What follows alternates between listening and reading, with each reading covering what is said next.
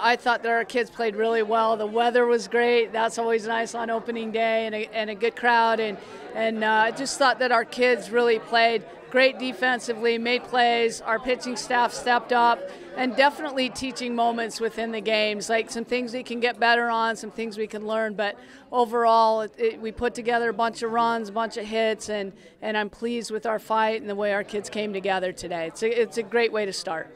I think there wasn't really much of a difference. I just came out. I knew I could hit, so I just came out, worked my worked my butt off, as, like, even more, knowing knowing that I'm going to come out and I I'm due.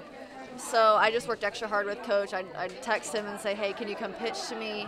and, and we worked we worked hard. I mean, it's always nice to be back home, um, playing in front of the 12th man. You know, um, representing our university and just coming out, starting off the first inning, three uh, three strikeouts, and then we're crushing the ball right off the bat. Um, it was just just a great tone for uh, our, our season opener here at home.